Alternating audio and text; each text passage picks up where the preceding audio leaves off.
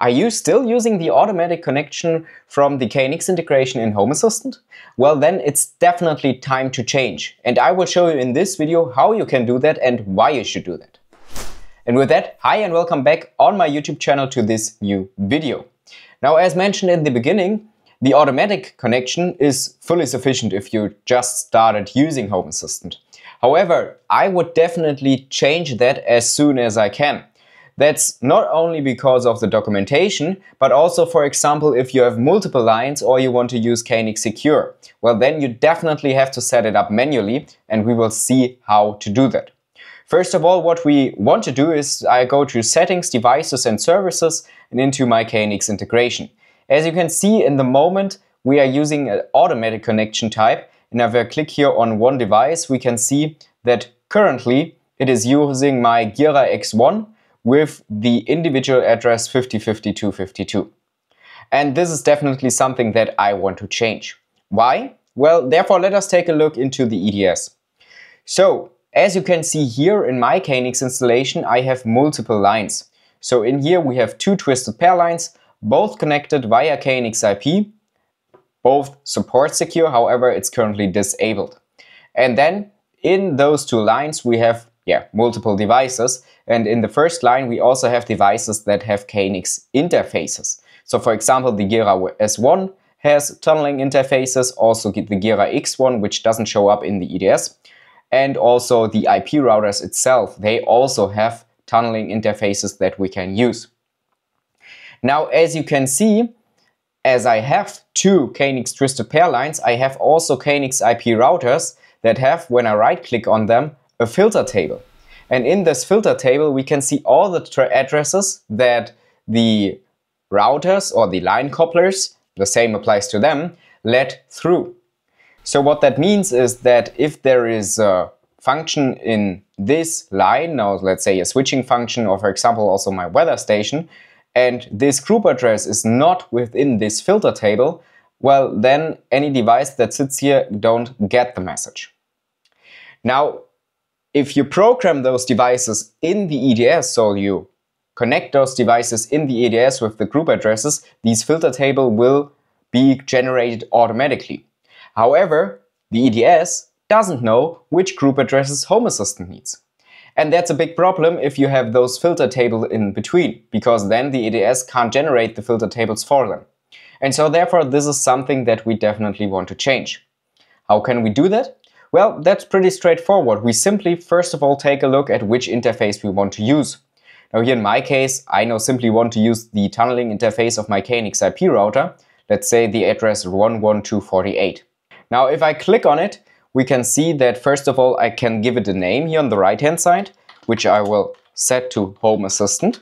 This now has the benefit that when I open up the diagnostics, so let us take a look at how it looks currently, and in here, for example, I now send a telegram with Home Assistant at the moment being set on automatic. So for example, I turn on the living room spots. We can see that, yeah, basically here we have the telegram from Home Assistant, but the ETS doesn't know that this is Home Assistant. So this is the first thing that we change by using this specific tunneling address and renaming it here to Home Assistant. So now when I take a look into the diagnostics, I will also see that Home Assistant is using this group address or is sending for, at this group address. And then we are already in the correct window because here we have the associations. And we, what we can do with that is the following, that I can drag and drop those group addresses onto this tunneling interface that Home Assistant needs. So in my case, Home Assistant needs every group address, which isn't true for now, but maybe we want to visualize everything. And so therefore the easiest thing that you can do is do the following. Simply mark every main group here. So all the group addresses, drag and drop it into here. And now we can see that Home Assistant is linked to all those group addresses here. So that's pretty easy. And because of this association now, the filter tables are yeah, corrected. So what that means is the following. If I take a look into the filter tables, that now in here we have more group addresses than before. Because now there are new group addresses that are needed inside of this line. By the way, if you want to know more about KNX and Home Assistant, then definitely check out my video courses over on Udemy. There I have just released my brand new video course, the KNX Home Assistant Primer, which is, yeah, the English version of my successful German video course. And in this video course, you will learn everything that you need to know to connect KNX to Home Assistant. We will take a look at all the entities that we can create with KNX in Home Assistant. We will see the difference between data secure, IP secure even more, and also take a look at how we can use it within automations. So if you want to know more about it, then definitely check it out. I have linked you the video course down there below in the video description with a little coupon code so that you can also save a little bit of money. I would be more than happy to welcome you in one of my video courses. You would definitely support me by doing this. And what we can also see is when I take a look into the group addresses itself. So let's say, for example, in this first lighting group address, here with bus interfaces, we can see which devices are connected to it. So here in this case, you can see the IP router 752 secure with the interface Home Assistant. So with that, it's much more documented than before. And now another thing that I also want to do is, due to this being a KNX IP router secure, this router also supports secure tunneling. So what I mean with that is that until now, the communication on the IP side is unencrypted. And this is what we can change by Clicking here on Secure Commissioning Activated, now I have already scanned in the secure certificate. I enable the security for my tunneling interfaces and you can see now here also this shield symbol. And with that, we have both. We first of all have a secure connection between Home Assistant and my tunneling inter interface. So this connection is already encrypted. And then those group addresses that can also be encrypted on the twisted pair side will also be encrypted. So that's definitely, in my opinion, the way to go. And so therefore what I will do is I now click here on Home Assistant because now I need to tell Home Assistant how it can connect to this interface. So I click here, click on Export Interface Information. Now I have to give it a password. Now I have to save this KNX keys file. And now before I go into Home Assistant, I first of all download all the devices that are required because there were a lot of changes with the secure group addresses, etc. And now in Home Assistant, I have to do the following. I click here on Configure, and here I can import this KNX keys file.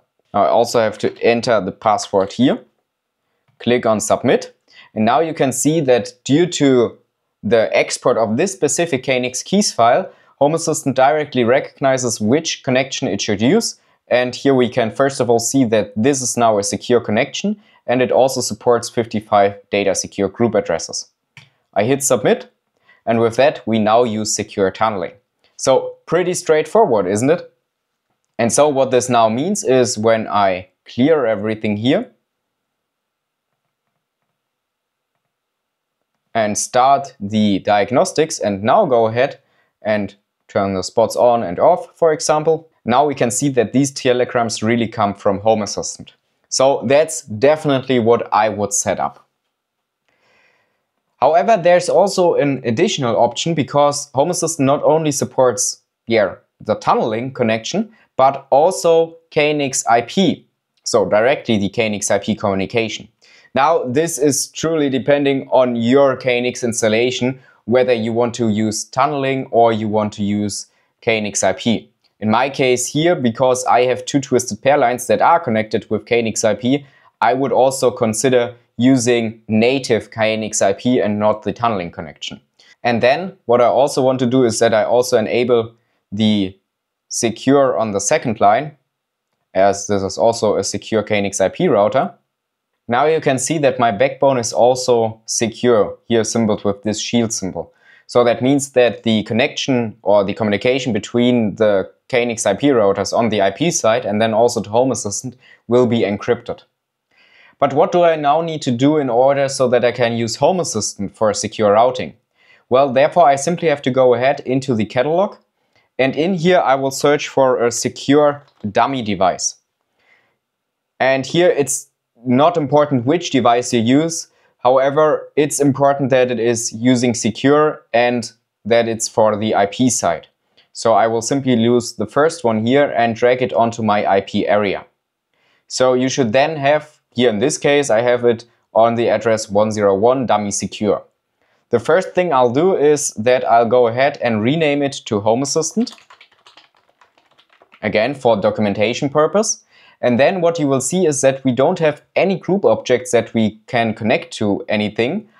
But what we have is, if I open it up, a dummy interface. And inside of this dummy interface, you first of all see the same settings that we saw when we used tunneling. We can say whether we want to support secure group addresses or not. And then here we also have the associations window. And we basically need to do the same thing. We go into the group addresses and in here drag and drop all the group addresses in here that Home Assistant needs to communicate to. With that set up, what we also do is that we export the interface information and then download all the devices here. In the meantime, we can go ahead into Home Assistant and reconfigure my KNX integration. So go to Devices and Services, KNX Configure, and then I import my new KNX keys file. So fortunately, the password didn't change. And now here you can see that now this address is 101 I click here on submit. However, what you just saw is that Home Assistant now wants to use tunneling, which obviously is false. So I go ahead, click on configure, configure my KNX interface, and now I go ahead and select routing. And here it's now important that you use the same address that the dummy device also has. So here I use 101. That's really important that you use the same physical address. Then hit submit now, okay, I can go ahead and import the file again. I actually think that that's not really necessary. Click on submit because I have imported it earlier. Click on finish and now I go ahead and reload my integration. And now you can see integration was reloaded and now we are using secure routing. So what that means is that if I go ahead into the ETS, into the diagnostics and clear everything, we are connected via our network interface, so we see the KNX IP communication here. And for example, go ahead and yeah, turn on the living room spots. We can see that Home Assistant here is sending the telegram now from the address 101. And if I go a little bit further and right click here and also display security, what we should see is that here we can see the transport layer, so the communication on the KNX IP side, that is yeah, secure. However, the data inside is not secure. That's a difference between KNX IP secure and KNX data secure. However, if we now would, for example, take a look at it with Wireshark, we would see that the information is encrypted. But as soon as this telegram is being translated to Twisted Pair, the information isn't yeah, encrypted any longer on the Twisted Pair side. But on the IP side, we are secure. Yeah, and so that's basically how, in my opinion, you should now set up your KNX integration. So either via tunneling or via routing, but definitely yeah, in a way that it's documented in the ETS. And even better if you can use, for example, secure tunneling, like we saw earlier, or like here in this case, secure routing. So with that being said, Again, if you want to know more about KNX and Home Assistant, then don't hesitate to check out my video courses over on Udemy. Link them down below with a little coupon code. Would be more than happy to welcome you in those courses. Now, if this video was helpful for you, then consider a like, subscribe to the channel to not miss any new videos. And with that, I would say bye bye and I see you in a new video.